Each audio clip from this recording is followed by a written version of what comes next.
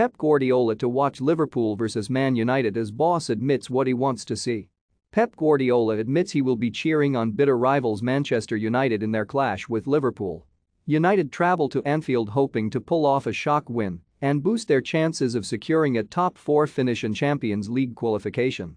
But Guardiola is more bothered about Ralf Rangnick's men taking points off Liverpool to hand Manchester City a better chance of going on to win the Premier League title.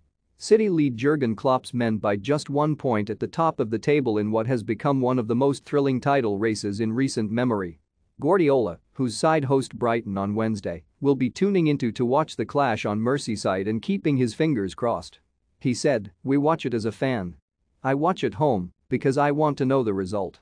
I would love United to get points, but it won't change if we don't do our job in the next games. We can learn something for both teams.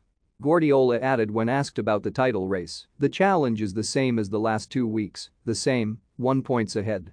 Every game a final, challenge and fight until the end.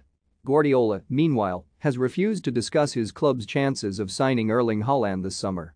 City are believed to be closing in on a deal to land the Borussia Dortmund sensation. But Guardiola claims to have too much on his plate in the coming weeks to think about the Norwegian striker and he added, I have no answer to your question. I have other things in my head rather than what is going to happen next season.